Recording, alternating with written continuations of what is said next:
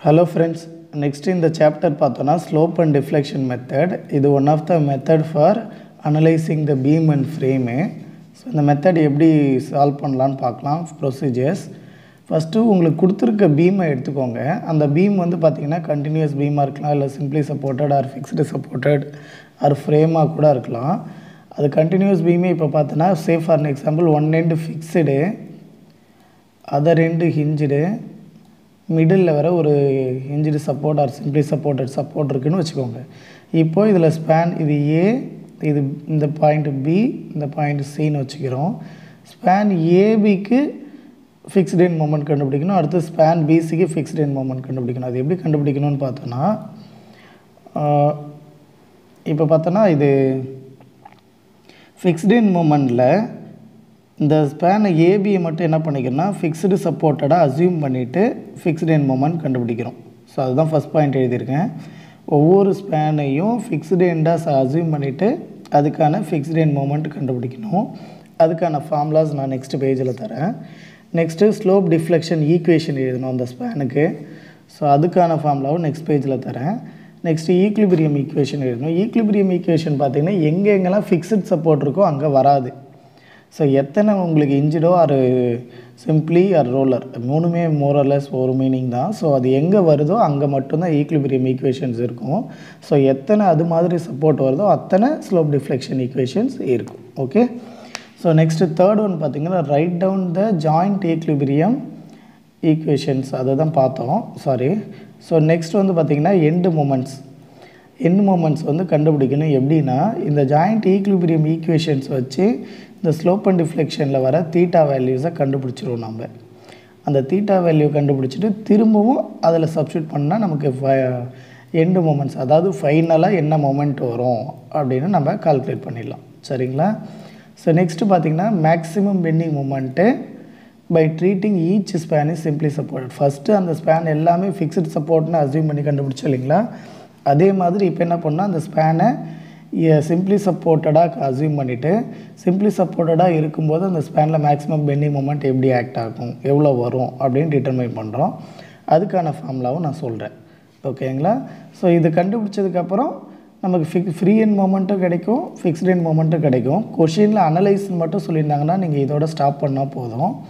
அவங்க ஒரு வேளை பிஎம்டி ட்ரா பண்ணுங்கள் இல்லை ரியாக்ஷன்ஸ் கண்டுபிடிங்க அப்படின்னா இல்லை ஷேர் ஃபோர்ஸ் கண்டுபிடிச்சி டி எஸ்எப்டியும் வரையணுன்னாக்க அதுக்கப்புறம் தான் இந்த சிக்ஸு செவன் எயிட் ப்ரொசீஜர்ஸ் போகும். சிக்ஸ்த்து பாயிண்ட் பார்த்திங்கன்னா bending moment for both fixed in moment and free moment bending moment diagram பார்த்தோன்னா ஃபிக்ஸ்டு இன் மூமெண்ட்டும் கண்டுபிடிக்க வரையணும் ஃப்ரீ மூமெண்ட்டுக்கும் வரையணும் அப்புறம் ரெண்டுத்தையும் கம்பைன் பண்ணி வரையணும். ஓகேவா ஸோ நெக்ஸ்ட் வந்து பார்த்தோன்னா ரியாக்ஷன்ஸ் கண்டுபிடிக்கணும். அது நமக்கே தெரியும்.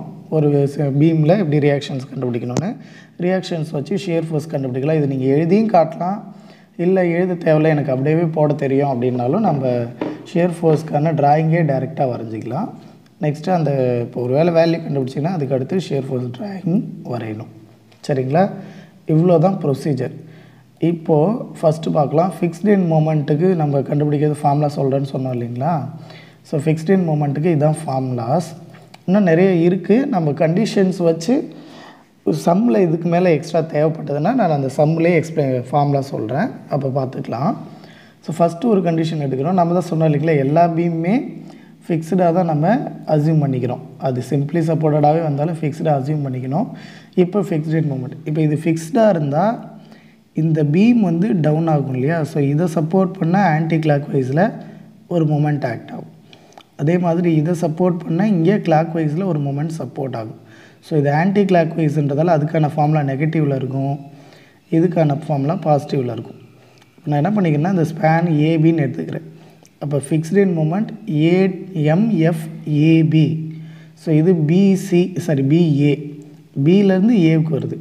ஸோ பிஏ ஸோ எம்எஃப்ஏபி எம்எஃப்பிஏன்னு வச்சுக்கிறோம். நேம் கொடுத்துக்கிறோம். எம்எஃப்ஏபிக்கு ஒரு பாயிண்ட் லோடு சென்டரில் ஆக்ட் ஆச்சுன்னா ஃபார்முலா பார்த்திங்கன்னா WL minus WL by eight formula WL by eight தான் பட் இது ஆன்டி கிளாக் வைஸ்ன்றதால நெகட்டிவ் ஓகேங்களா ஸோ இது இப்போ கிளாக் வைஸ்ன்றதால பாசிட்டிவ் நெக்ஸ்ட்டு அந்த அதே பாயிண்ட் லோடு இது சென்டரில் ஆக்டானா பார்த்தோம். In if in case some of AB டிஸ்டன்ஸில் ஆக்ட் ஆகுதுன்னு வச்சுக்கோங்க. ஆக்சுவலி இந்த ஃபார்முலா தெரிஞ்சாலே போதும். இந்த ஃபார்முலாவில் ஏவுக்கு பதிலாக எல் பை டூ பிக்கு பதிலாக எல் பை டூக்கு சப்ஸ்டியூட் பண்ணிங்கனாவே உங்களுக்கு ஆட்டோமேட்டிக்காக இந்த ஃபார்முலா வந்துடும் பட் இட் கேஸ் நான் சொல்கிறேன் ஃபார் கேஸ் சொல்கிறேன் ஸோ இது பார்த்திங்கன்னா அன்சிமெட்ரிக்கல் அப்படியே லோடு ஆக்ட் ஆகிருக்குனாக்க ஃபார்முலா பார்த்தோன்னா W A B square divided by L square இதே இந்த பக்கத்துலேருந்து இப்போ மொமெண்ட் எடுத்துகிட்டு வரேன்னா W A square B divided by L square ஓகேங்களா இதுதான் ஃபார்முலா இப்போ இது ஆன்டி கிளாக் வைஸ்ன்றதால நெகட்டிவ் கிளாக் வைஸ்ன்றதால பாசிட்டிவ் நெக்ஸ்ட்டு பார்த்தோன்னா ஃபிக்ஸ்டு எண்ட்லேயே ஃபுல்லாக யூடிஎல் ஆக்டாக இருக்குது ஸோ இது ஏ எண்டு இது பி எண்டு சரிங்களா? UDL ஆக்டானா W L square by twelve தான் ஃபிக்ஸ்டு எண்ட் மேக்ஸிமம் மூமெண்ட்டு இது இந்த பக்கம் ஆக்ட் ஆகிறதால நெகட்டிவு கிளாக் வைஸில் ஆக்ட் ஆகிறதால பாசிட்டிவ் சரிங்களா? இப்போ அதே மாதிரி ஆஃப் மட்டும் ஆனால் வரும். சில டைம் ஏ வரைக்கும் ஆனால் வரும். நான் என்ன பண்ணிக்கிறேன்னா ஏக்கு ஃபார்முலா எழுதிடுறேன். ஏ டிஸ்டன்ஸ்க்கு எழுதிக்கிறேன். ஓகே அதுக்கப்புறம் அதை பேஸ் பண்ணி நம்ம ஃபார்மில் சப்ஸ்டியூட் பண்ணிக்கலாம். இப்போ என்ன பண்ணிக்கிறேன்னா லெஃப்ட் ஹேண்டில் ஏ போர்ஷனில் லோட் ஆக்ட் ஆகுதுன்னு வச்சுக்கோங்க. ஃபார்முலா இது தான் இதை நெகட்டிவில் எழுதிக்கிறேன். இந்த ஃபார்முலா பாசிட்டிவில் எழுதிக்கிறேன். இஃப் இன் கேஸ் இது ரைட் ஹேண்டில் ஆக்ட் ஆகுதுன்னா இந்த ஃபார்முலா இங்கே வரும். இந்த ஃபார்முலா இங்கே வரும். பட் சைன் வந்து அதே தான் நெகட்டிவ் பாசிட்டிவ் ஸோ அது மாதிரி சம் வந்துச்சுன்னா நான் அந்த சம்லேயே ஃபார்முலா கொடுக்குறேன். பார்க்கலாம். உங்களுக்கு பேசிக்காக தெரிய வேண்டியது ஒன்று ரெண்டு மேலே ஃபஸ்ட்டு கொடுத்த மூணு. இந்த மூணு ஃபார்முலாஸ் தான் தெரியணும். ஸோ இந்த ஃபார்முலாவும் சேர்த்து சொன்னேன். சரிங்களா? ஸோ இதுதான். இதுக்கப்புறம் இன்னும் நிறைய இருக்குது பட் நிறைய சொன்னோன்னா கன்ஃபியூஸ் ஆகும். நம்ம இது இப்போக்கி இதை பார்க்கலாம். ப்ராப்ளம்ஸில் சம் கேட்டாங்கனாக்க நம்ம அதுக்கு தக்கன ஃபார்முலாஸ் எழுதிக்கலாம். சரிங்களா? ஸோ இப்போ நெக்ஸ்ட்டு பார்க்கலாம். ஸ்லோப் அண்ட் டிஃப்ளெக்ஷன் ஈக்குவேஷன் இப்போ ஒரு கண்டினியூஸ் பீமில் பார்த்தீங்கன்னா ஒரு ஸ்பேன் ஏபி மட்டும் நான் எடுத்துக்கிறேன். ஓகேங்களா ஸ்பேன் ஏபியில் இதுவுமே இன்ஜின் சப்போர்ட்டு இதுவுமே இன்ஜின் சப்போர்ட்னு வச்சுக்கோங்க. இங்கேயும் ஸ்லோப் ஆகுமா? லோடால் இங்கே ஸ்லோப் ஆகும். ஸோ இது தீட்டா ஏ இது தீட்டா பி ஸ்லோப்புனால் நமக்கு தெரியும் தீட்டா எஸ்ஓஎம்லேயே பார்த்துருப்போம்.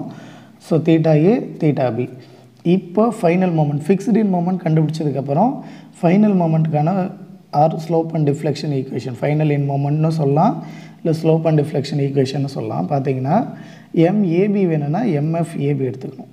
ஓகேங்களா? MFAB plus two EI by L ஏலேருந்து தான் பிக்கு போகுது. அதனால் டூ ஏ ப்ளஸ் பிக்கு போகிறதால ஒரு பி இதுவே எம்எஃப்பிஏ பாருங்கள் எம் எம்பிஏக்கு எம்எஃப்பிஏ அது ஆஸ் யூஷுவல் தான்.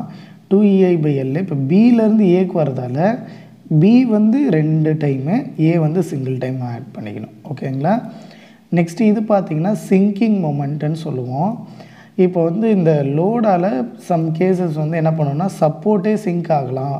இல்லை இந்த பாயிண்டில் சிங்க் ஆ லோடு கிட்டே சிங்க் ஆகலாம். இது மாதிரி சிங்கிங்னு கொஷினில் வேல்யூ கொடுத்துருப்பாங்க. Support BE sinking by zero point ten mm or ten mm அது மாதிரி கொடுக்கலாம்.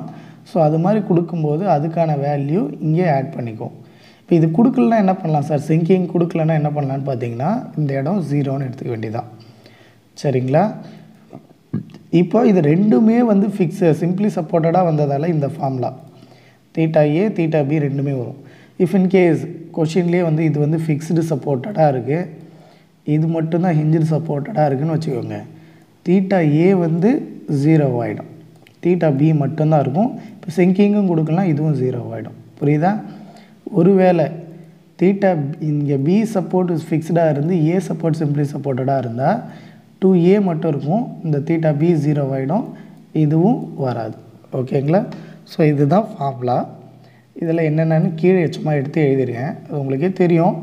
எம்எஃப்ஏபின்னா fixed end moment at A ஏல இருக்க ஃபிக்ஸ்டு இன் மொமெண்ட்டு அதுதான் எம்எஃப்ஏபி அடுத்து எம்பிஏ எம்எஃபிஏனா பியில் இருக்க fixed end moment theta A theta B வந்து slope at A and B respectively இது வந்து பார்த்திங்கன்னா fixed end moment due to sinking of support support sink ஆகுது இல்லையா? அதனால் வர மூமெண்ட்ஸ் சரிங்களா? இவ்வளோ தான் ஃபார்ம்லாஸ் ஸோ இதில் வந்து உங்களுக்கு பேசிக்காக தெரிஞ்சுக்க வேண்டியது இது மூணு ப்ளஸ் இது ஒன்று இது ஒன்று தெரிஞ்சுக்கிட்டிங்கனாவே போதும். அதை வச்சு தான் மீதி எல்லாம் எழுதுறது.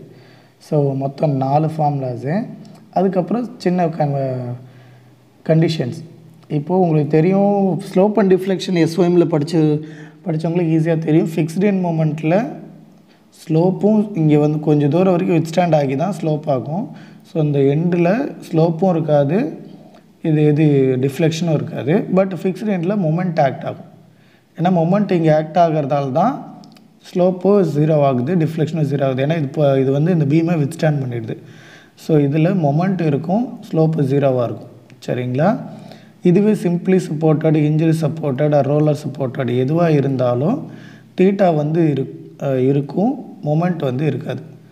No moment actually sorry the தப்பாக எழுதியிருக்கேன். நோ மொமெண்ட் ஆக்சுவலி ஸோ இங்கே மொமெண்ட் இருக்காது. மொமெண்ட் இல்லைனாவே ஆட்டோமேட்டிக்காக டிஃப்ளெக்ட் ஆக ஆரம்பிச்சிக்கும் ஓகேங்களா ஸோ நெக்ஸ்ட்டு சிம்பிளி சப்போர்ட்டட் பீமில் லோட் ஆக்ட் ஆன மேக்ஸிமம் பெண்டிங் மொமெண்ட் ஃபார்ம்லாம் நமக்கு தெரியும்.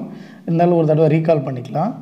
ஒரு சிம்பிளி சப்போர்ட்டட் பீமில் சென்டரில் லோட் ஆக்ட் ஆனால் மேக்ஸிமம் பெண்டிங் மூமெண்ட் வந்து டபிள்யூஎல் பை ஃபோர் எதுக்காகனாக்க ஃப்ரீ என் மூமெண்ட் கண்டுபிடிக்கணும்னு சொல்லியிருந்தேன் இல்லைங்களா? அதுக்காக இந்த ஃபார்முலாஸ் ஸோ இதுவே ஏபி டிஸ்டன்ஸில் ஆக்ட் ஆச்சுன்னா டபிள்யூஏபி பை எல்லு இதுவே யூடிஎல் ஃபுல்லாக ஆக்ட் ஆகுதுன்னா டபிள்யூஎல் ஸ்கொயர் பை எயிட் ஓகேங்களா? இவ்வளோ தான் நீங்கள் இன்ட்ரொடக்ஷன் அண்ட் ஃபார்முலாலாம் தெரிஞ்சிக்க வேண்டியது. இதுக்கப்புறம் எக்ஸ்ட்ராவாக ஏதாவது ஃபார்முலாஸ் தேவைன்னாக்கா நான் அப்பப்போ ஃபா கொஷினில் சம் சால்வ் பண்ணும்போது உங்களுக்கு ஃபார்முலா எழுதி தான் சால்வ் பண்ணுவேன். ஸோ கன்ஃபியூஷன்ஸ் இருக்காது. ஸோ இந்த பேசிக் கான்செப்ட் புரிஞ்சுக்கிட்டிங்கனாக்க ஸ்லோப் அண்ட் டிஃப்ளெக்ஷனே இந்த சாப்டரே ரொம்ப ஈஸியாக இருக்கும். பார்க்கலாம். Okay thank you